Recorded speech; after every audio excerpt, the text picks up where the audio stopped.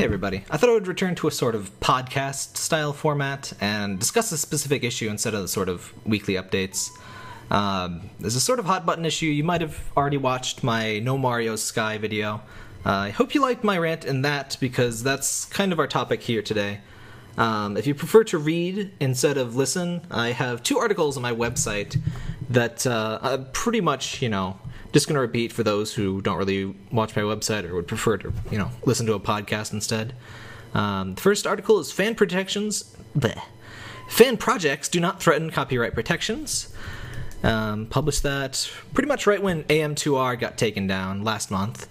Um, second article I just published today, about 10 minutes ago, titled Fan Games Are No Less Protected Than Fan Art by IP Laws. Um, we'll be covering pretty much all of what's in both of those articles, and uh, this will be in a bit more conversational and ranty tone, though. You know, I do use the phrase "fetid pustule" referring to the uh, R Games art discussion, so uh, slightly ranty in those two articles. But uh, if you prefer to read, go ahead. Um, you won't be missing too much, I hope. I might go off script. Yeah, that's right, Parker. Yeah. Sorry, my assistant is talking to me.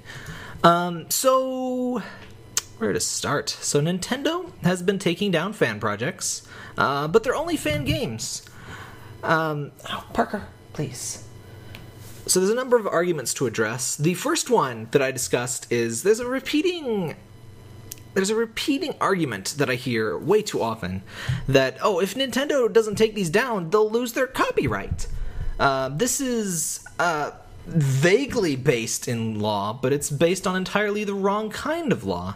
See, DMCA, um, the C in DMCA is for copyright. Um, when Nintendo takes down fan games, they take down by copyright because that's the easiest way to do so. Um, copyright laws, if you're not familiar, look up the Mickey Mouse Protection Act, aka Sonny Bono Act, aka I forget the original name, but um, this really evil piece of legislation that Disney shoved down people's throats for uh, the purposes of explicitly protecting Mickey Mouse's copyright. Uh, that's not a joke, that's not an exaggeration. Uh, Disney basically goes to Congress every time that Mickey Mouse's copyright is about to go up, and they push for an extended term. Um, this is basically it's kind of like how DOMA is explicitly designed. Uh, the Defense of Marriage Act was explicitly designed to get around constitutional protections, which should be a pretty big warning sign. But you know. Uh, Congress is full of crooks, so you can't be too surprised. But basically, Disney goes to Congress every time that uh, Mickey Mouse's copyright is about to expire. They whine and moan, they give a lot of money, and they decide, okay, we don't want Disney we don't want Mickey Mouse to be out of copyright, so we're gonna quietly extend all copyrights after this date that suspiciously happens to include Mickey Mouse, and we're gonna push it to about 20, 30 years in the future so we don't have to do this every time. Um, I believe the current act, um, I'm not sure if Mickey Mouse is included in the very earliest ending of the term, but I believe this discussion will happen again in 2020, so not too far from now. Um, but basically, copyright is eternal, which is uh, unconstitutional. Because, but it, you know, it's it's that sort of unconstitutional like DOMA, where they you know word it very carefully to be like, no, no, no we have an ex- you know we have an expiration for copyright. We're just never going to reach it. Uh, if you're not familiar, the United States Constitution does explicitly state that uh, copyright must have a limit.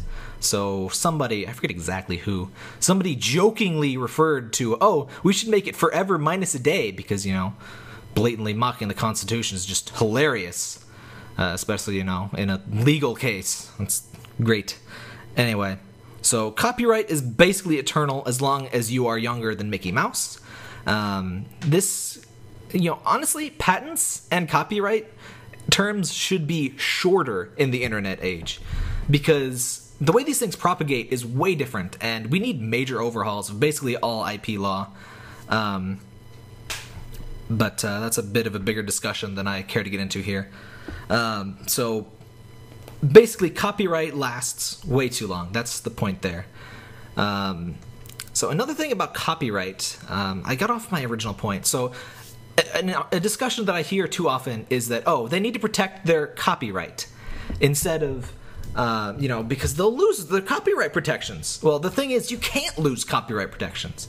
Um, if you were born today, you will basically, if Disney has their way, you will literally never lose your copyright protections um, unless you willingly, you know, release the work into public domain, which is you know a manual action. Um, which I personally do encourage you to do if you know if you abandon a project. Um, a lot of artists will release their work into public domain after you know X amount of years. Um, a developer, Einchan, or um, she's the lead developer of Midboss Games, says that after five to ten years, she tends to release her projects into public domain, which that's cool.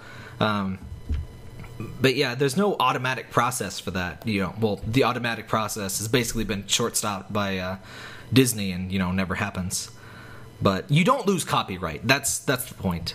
Um, trademark is an area of law where, say, another game series decided to be called Metroid, and Nintendo didn't, you know, say, "Hey, no, we're using Metroid." The law would eventually assume that no, that's not a protected trademark, and you're going to lose it. I believe that originally happened to happened to the name Refrigerator. Um, refrigerator was a brand name, but it became commonly used to refer to any kind of, you know, refrigerator. So um, basically, they, they, lost that. And so trademarks, you do have to be a bit more vicious, and I don't really, I don't like how that particular area of law works.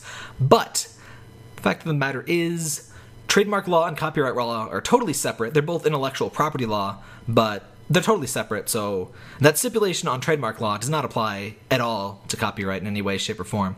Uh, AM2R doesn't really use Nintendo's trademark. Uh, Samus and her design are not trademarked. Just the name Metroid and Metroid Prime are, and their respective logos. Uh, that's why um, I think Dr. M64 is what his name was. Uh, the developer, the lead developer, they went and didn't put Metroid in the title. Um, you know, but the thing is, this whole copyright or this whole trademark discussion, they sent a DMCA notice, which is about copyright, which they can't lose. So, and even Nintendo is pushing this, you know, misinformation because their claim was that, oh, hey, they need to protect the, or their copyright or they'll lose it, which is false. So Nintendo is basically lying or at the very least misleading people and promoting this misinformation that if you don't viciously attack anything using your copyright, you're going to lose it which is false. Uh, this is not, you know, controversial legal information. This is a basic core concept of IP law in the United States that honestly everybody dealing with intellectual property on the internet should already know. I I feel ridiculous that I, I feel like I'm you know this educated person telling these uneducated people things. It's like I, am not a lawyer. I just have this basic competency that really most people should have about this kind of stuff. Um, you know, look this stuff up on Wikipedia. You know read some you know basic law websites. It's really not hard to learn this information. Um, you know, it, it's it's really not. Um, but anyway, the fact of the matter is, Nintendo does not need to aggressively take down these fan games. Uh, it's 100% at will. DMCA uh, is a thing that you can send 100% at will. It's been there's been cases on this, and they've asked, and you know, it's been asked in court if you know why did you, you know, delay requesting, you know, a copyright attack? Uh, the only the only case I'm familiar with where copyright, where a court said, "Oh no, you you didn't exercise your right, um, and you're going to lose it," was in a particular case where they waited until the cop, the infringing work got money, and then they decided to enforce it because they wanted money. They didn't want to shut it down. And so law is kind of like that, where, you know, sometimes there's exceptions based on, hey, you're kind of being an asshole. And, you know, trying to, you know, manipulate a law for something that's not really for, which is something that Nintendo's doing, in my opinion. Um, but yeah, so Nintendo doesn't need to do this. Nintendo wants to do this. It's 100% at will. It's something they've decided they're going to be really fierce about it. A lot of com- other companies are not fierce about it. Um, a lot of people point up Sega because you know they hired. Um, you know, Sonic Mania. They got basically a guy who did fan projects, and I hired him before for the fan remake, or not the fan remakes, the official remakes of Sonic Two and was there three? But there was a couple Sonic remakes they made for mobile that were really good, by the way. The Taxman ports, they're usually called. Um, they're really impressive work, but uh, Sega actually has only recently been good to their fans. Um, Sega has a really sordid history, and I, I, I like my Dreamcast, my Genesis, but uh, Sega has not been a very good company. Um, I, I would not recommend holding up Sega as you know a holy figure.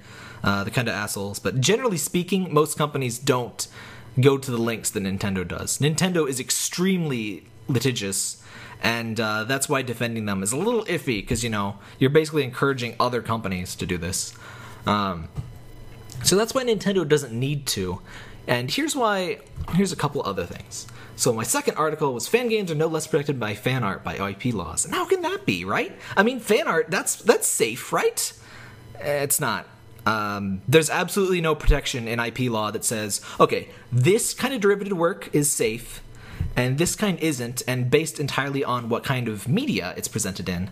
Uh, the only real protections on derivative work is fair use. Uh, fair use really has nothing to do with what kind of like what medium it is. Fair use is like okay, if it's educational or critical, you know that that's probably all right. If it's uh, a limited use of the work, if it doesn't you know supplant the original work, like um, say I bought a book review that is just the entire text of the book and it has a couple notes scrawled in it that's not okay because it, you know it supplants the original work. Um, it also has to, you know, well, well, it doesn't have to. The thing about fair use, none of these are essential qualities, but it's sort of a set of guidelines. Fair use is a very squishy thing. It's kind of unfortunate. Um, and another thing is that you know, if you prove it doesn't have commercial impact, you know, fan games tend to, you know, uh, fan game like AM2R. Let's go down AM2R. So it's not particularly critical or educational but the fact of the matter is, Metroid 2 is extremely old. Is it 20? About 20 years old? Maybe a little older? I'm not sure, Parker. Um, the effect on Nintendo's bottom line is pretty much zero, and it does not really supplant Metroid 2. If you've played Metroid 2 and AM2R, you can tell they're based off of each other, but they're really not the same game. Um, there's a whole major amount of differences, and people tend to overestimate how much of AM2R's art is derivative. Like people think that the art was taken from like other Metroid games. It it really wasn't. There's a lot of original art in that. You know, it's obviously based on stuff in the Metroid universe. You know, it's supposed to look kind of like Metroid 2, but um, it's a lot of those sprites are completely original. A lot of those, like the bosses, most of those bosses weren't in the original game at all. Um, a lot of those, uh, all those sprites have been, at the very least, touched up. I believe the Samus sprite is vaguely based off of the Zero Mission one, but uh, it's not. You know, you're not going to find any identical sprites to anything in a Nintendo thing. You know, it's not like a ROM hack where they just you know copy and pasted Metroid One Samus and put her into Metroid Two, and there you go you know there's a significant amount of original work going in there and that's another factor for fair use. Um, but a thing about fair use um, so everyone says that nintendo has a right to do this. The thing about fair use is that pretty much any of these cases that Nintendo has sent, they could be challenged on fair use. And I do think a few of them would probably win. But the problem is, fair use and IP law in general is extremely biased against the little guy. You have to take it to court to make a fair use argument. Um, obviously, fan game you know developers aren't going to do that. Um, so even though it's entirely possible that legally in court, there you know the fair use argument would be held up, uh, they don't just don't do it because you know it's so cost prohibitive because our law tends to protect corporations over the small people. That's not a good thing for you to be defending, by the way. Um, so when you say Nintendo is in the right, you're kind of saying, "Hey, they're a big corporation, so fuck you, you little piece of shit." Um, that's kind of well evil. so I kind of don't recommend taking that particular course of argument. Um, so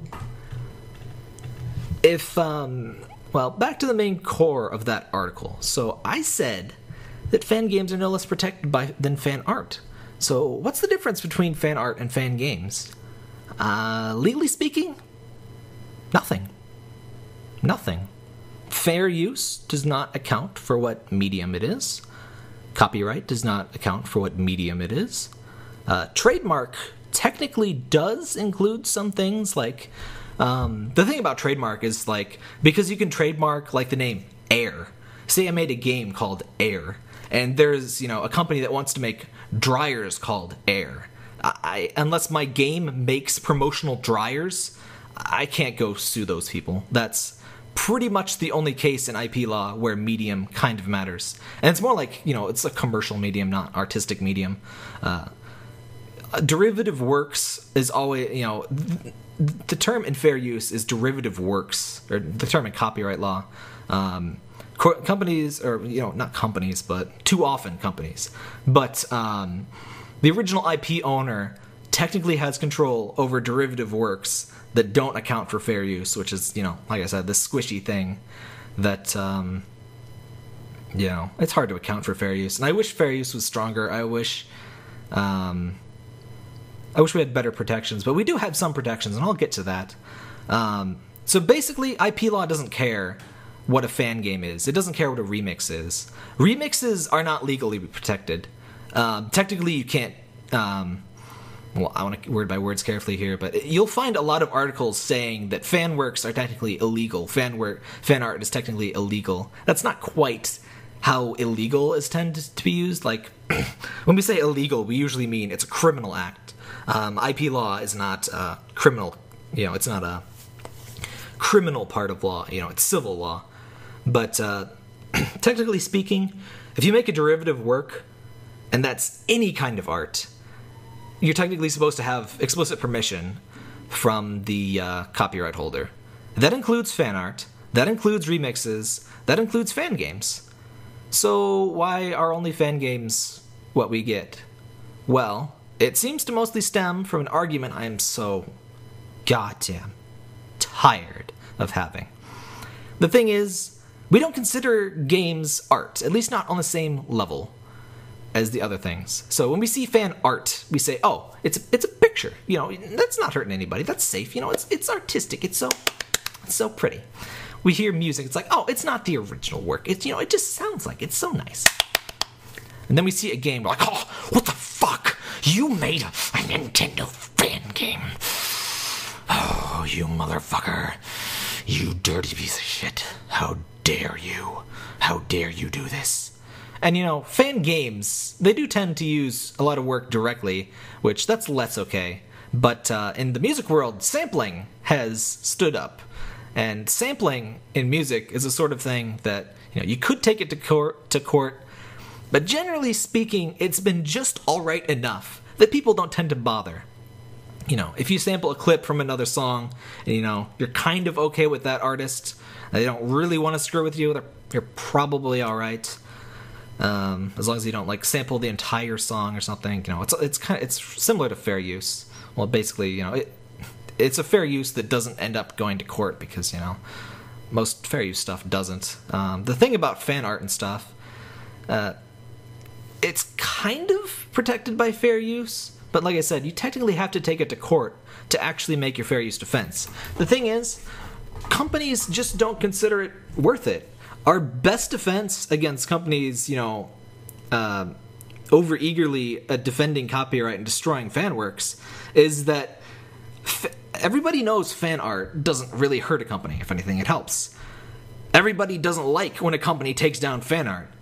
So the thing is, the companies know if I take down fan art, I'm getting almost no benefits and I'm getting a lot of negatives. But the thing is, when fan games get taken down, people just shrug. They say, "Yeah, Nintendo, that was that was good of you, Nintendo. You you you protect that IP that you don't actually legally have any obligation to protect." Um, people just shrug their shoulders, maybe even pat Nintendo on the back, say, "It was your right." Um, but the thing is, Nintendo would totally be in the right to say, "Hey, DeviantArt, take down every picture of Mario. You have, you know." You send whatever the terms of the Digital Millennium Copyright Act are. You have this many days to comply uh, otherwise, we'll take you to court. They could totally 100% do this. They could go to any website that hosts fan art, say take down every single piece of Nintendo fan art because you know we own these copyrights and these infringe them because they're derivative works, and they'd have to take them down. there's no protection from that. If Nintendo wanted to DMCA all Nintendo fan art on DeviantArt, on Tumblr, on Pixiv, on Twitter, on anything, they could do that.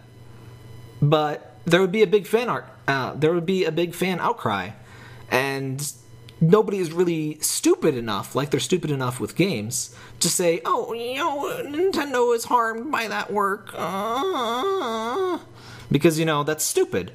But the thing is, fan games, Nintendo also really isn't harmed by you know 99% of fan games either. Um, so the thing is, we don't really we don't respect fan games. We don't respect games in general. You know, we see them as this commercial only thing. And like somebody just on Twitter today, uh, sorry if you're watching this, but I have to crucify you. Um, somebody said, "Oh, um, No Mario Sky was a product, a product. You evil fucker, you made a product." But here's the thing: No Mario Sky was free.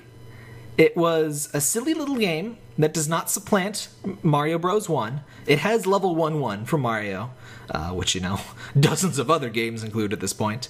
Um, but, you know, it was just a bunch of procedural crap with a bunch of things that look vaguely like Mario elements, which a bunch of things that look vaguely like Goombas. Um, but it's a product because it's it's a game, and we consider games products, inherently less artful than you know, art or music. But if you pay even the slightest bit of attention, you'll notice that art and music are extremely huge, like billion dollar industries that are extremely commercial. Um, in fact, a great deal of fine art that is hanging, and even modern art and stuff that's hanging in museums and stuff, was commissioned by com- extremely rich motherfuckers, um, or at the very least performed for uh, for money. Um, the thing is, artists, they're actually human beings. This may surprise you. Um, they need to eat food. Sometimes they need money to eat food. Sometimes artists even use their skills as an artist to get money to eat food. Um, that is the core of a commercial, you know, enterprise. You use your skills because somebody will give you money, and you need money to do other things. Um, so that's why art is commercial. That's why music's commercial. That's why games are commercial. Um, Games are no less an art form, and they are no less commercial than art, than music, but they're also no more commercial. Because, you know, you sell a thing for money, that's commercial. That's really, that's the only meter stick, you know. We tend to have this thing where, you know, we assume games you know, these big AAA productions and stuff, but that's increasingly false, you know. It's been inaccurate for a long time. You know, there's been garage developers since, since the Atari days. But, um, we still have a lot of baggage with how we consider games, and that feeds into this IP discussion where we think, nah, games, fan games, that's different. That's different. It's not art, you know. You know, maybe even maybe you even think that games are art, but when it comes to fan games, your opinion is a little different because you think for some reason they're different, and that's really it's just because you've been conditioned your whole life to think games are this different weird thing. You know, it's it's it's like a toy. It's different, it's commercial, it's strange, it's not art.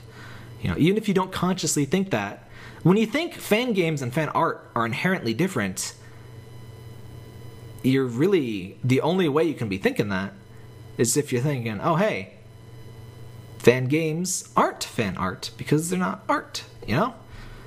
But that's not relevant. The, law doesn't give a shit what your opinion about whether games are art. Games art, music, it's all the same shit to copyright laws. Um, there's no inherent protection or lack of protection afforded to either fan art or fan games. So basically, if you say that it's totally okay for Nintendo to take down the 500 fan games they took down from Game Jolt, uh, that's something that, that's real that just happened a few days ago. AM2R is not an isolated case. Um, they took down about 500 games, and there wasn't really too much of a fuss. There was just you know some articles that said, "Oh, whatever, they're just fan games. It's not a big deal. Just fan games. And um, not too much was said of it. But if Nintendo did that with DeviantArt, there would be a huge outcry. The thing is, our only protection for stuff like fan games is to get mad. To say, hey, Nintendo, what the fuck, bro? To go on Twitter, say, hey, you shouldn't do that. Um, to maybe you know not buy some of their products to at least voice your concerns Uh, a lot of, you know, the sheer act of voicing your concerns gets a lot of shit, but look at the past few years of gaming. The original Xbox One, all of the DRM stuff, um, you know, the discs aren't real, gone. Kinect, gone. Um, Nintendo sort of got an account system. PlayStation 4 is getting folders. EA has changed quite a lot. EA and Ubisoft kind of switched positions, actually. But even Ubisoft, um, look at what they did with Assassin's Creed. Could you even imagine in 2011 or so, 2012, that Assassin's Creed was going to be no longer an annual franchise? That happened because of fan outcry of um, of Unity. And Assassin's Creed Syndicate sales even took a dive because the thing with games, you know, because of pre-orders and stuff, a bad game doesn't tend to affect its own sales. It tends to affect the next game's sales. So I've heard people say that Syndicate is a good game. I haven't played it, so I, I don't have an opinion there. But Syndicate took the hit for Unity, basically, because people were pissed, and they had a reason to be pissed. So Ubisoft changed. And, you know, there's tons of smaller examples but basically, gaming has changed a lot because of, you know, fan outcry. The one company that doesn't really do anything is Nintendo. And I'm pretty sure a big part of that is because a lot of Nintendo fans falsely believe that if they keep defending Nintendo, uh, Nintendo's gonna, you know, it's gonna, you know, Nintendo's different. They're they're nice, you know, they're like Apple, except Apple's extremely evil lately. You know, they want to kill the headphone jack, they want to kill everything. Um, you know, people draw when people draw lines between Nintendo and Apple, uh, it's a lot less flattering than I think they intended to be. Uh, Nintendo or Apple, well, both of them, it's a very litigious, nasty ass company. I like some of their design sensibilities. As a corporation, I hate them. It's a lot like me and Disney. Um, they make cool movies. They have great animators. a lot of cool people work for Disney. As a company, I despise that company. Um, freedom of expression and particularly copyright stuff. That's a big hot button issue for me. Uh, Disney Disney is straight up the antichrist for uh, freedom of expression and uh, and copyright laws. Because, like I said earlier, they're the reason copyright is eternal. Um, I I really can't forgive that. And at this point in time, Nintendo is basically why, and and their fans are basically why fan games are not respected. And uh, a lot of really cool people started out making fan games. Um, Matt Roszak, who makes the Epic Battle Fantasy series, um, the first Epic Battle Fantasy, it's uh, well, it had started out as a bunch of Flash cartoons that are basically Final Fantasy parodies. And parody is extremely well protected in terms of like fair use and stuff. By the way, um, the problem, the only thing with parody is you have to take it to court, and like I said, most people don't have the money to do that.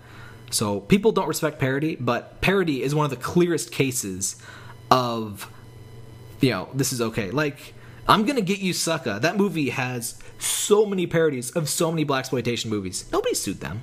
At least I hope they didn't.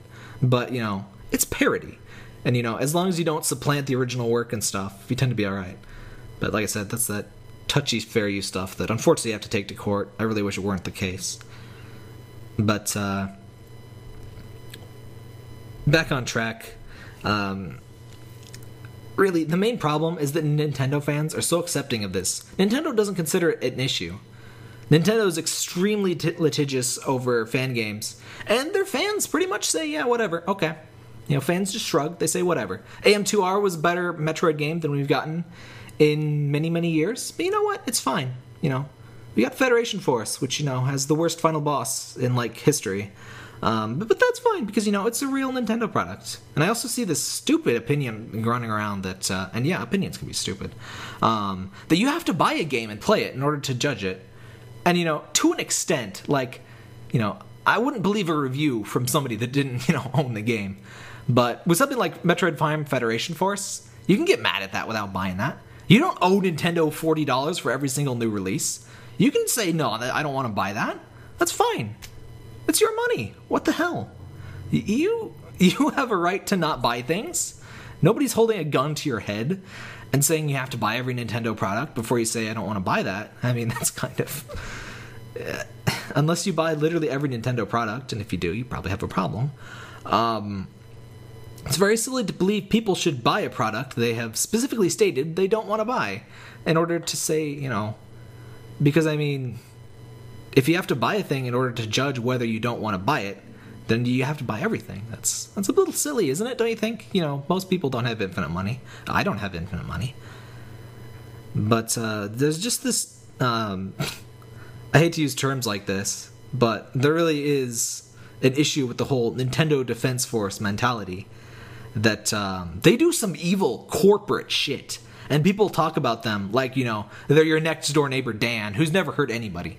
Uh, Nintendo is you know crushing fan projects left and right, uh, harming freedom of expression. Um, shutting down birthday parties. Well, that was that was the Pokemon Company, um, but you know, it wouldn't surprise me if Nintendo shut down birthday parties too. But uh, that's a real case, by the way. Uh, the Pokemon Company shut down somebody's. They had Pokemon themed birthday party and they shut it down.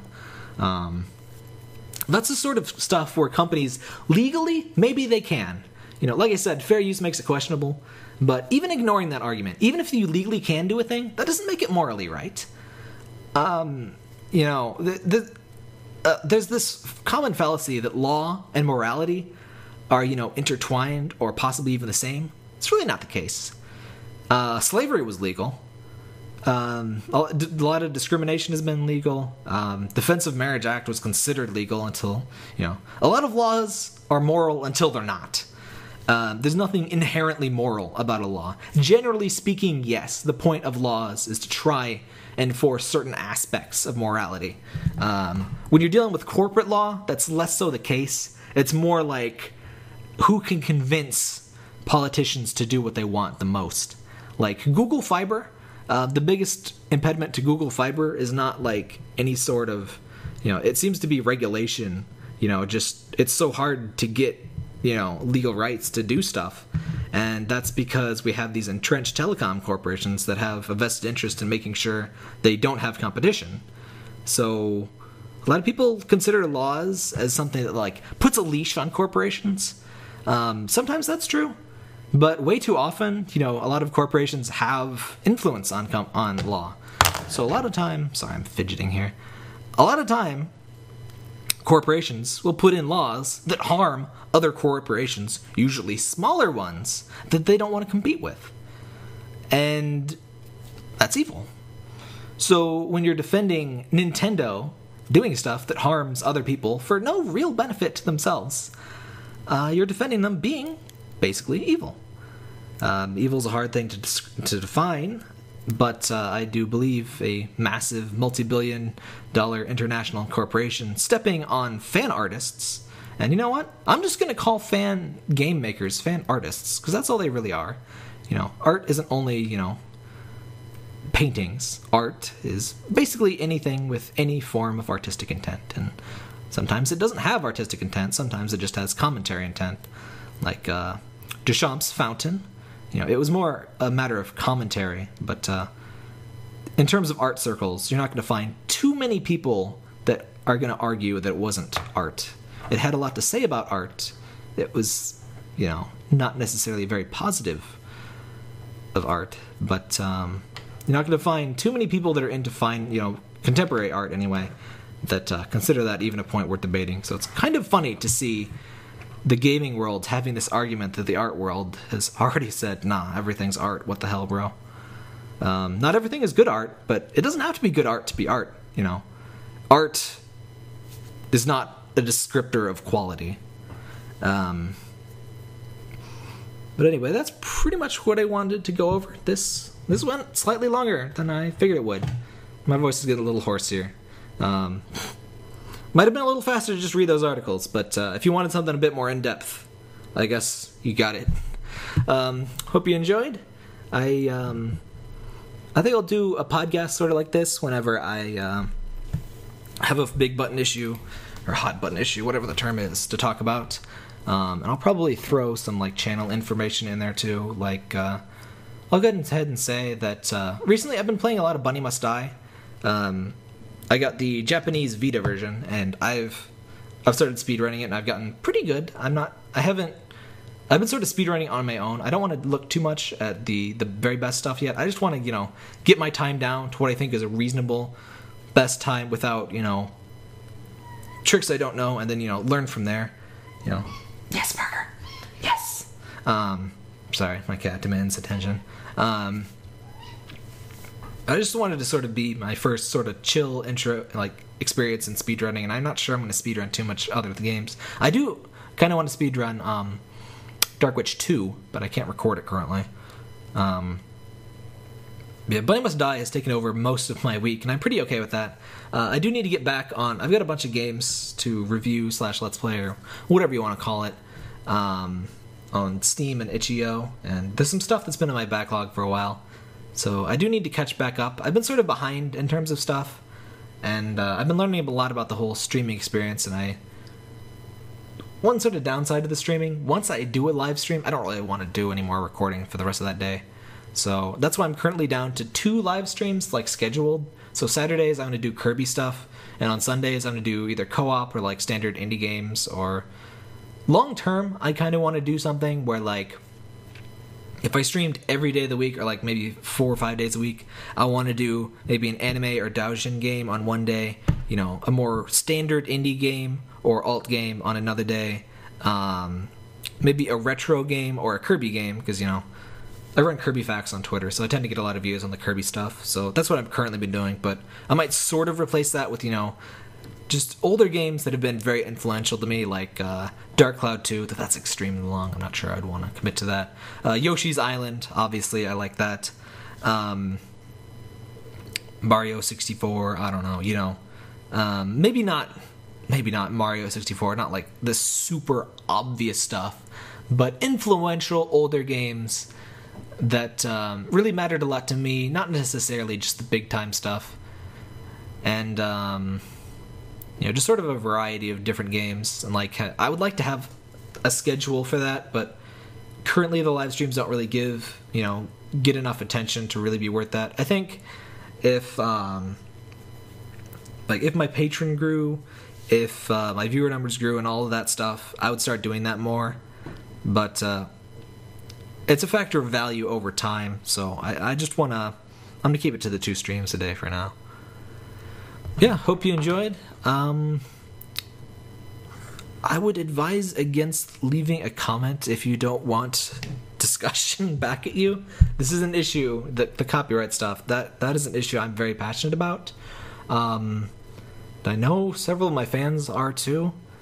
Uh, I would kind of advise against arguing too much in the comments. I I tend to get rather passionate about this. Um, but I do I do always welcome comments. Just don't be an idiot and expect if you say something stupid about copyright, do expect me to call you out on that. I I will not be kind to ignorance on this subject and a lot of other subjects. But uh, generally speaking, it's very safe to leave a comment on my channel. Just don't be an idiot. That's my main rule. You know, people leave first comments, and I'll remove those. Um, if people criticize something I do in a video, as long as I'm not being a complete asshole, like, hey, if you forgot, you forgot the thing over here. You know, you had to do jump over in the corner, and whatever. I'm fine with that. People like, you moron, you stupid dumb moron. You didn't even get the invisible item. You had to press B seven times and go to the right. How did you not know this? Everyone, everyone knows that you get the secret invisible item, and then you input the Konami code backwards, upside down, and to the left into your controller while screaming into the mic, and then you unlock Super Boss Mode. Everyone knows this. You know, if you do that, you're gonna get blocked from the channel. But, you know, just, just be nice. You know, it's not hard to be nice. I'm nice sometimes, and if I can do it, so can you. Anyway, thanks for watching, everybody, or listening in this case. But yeah.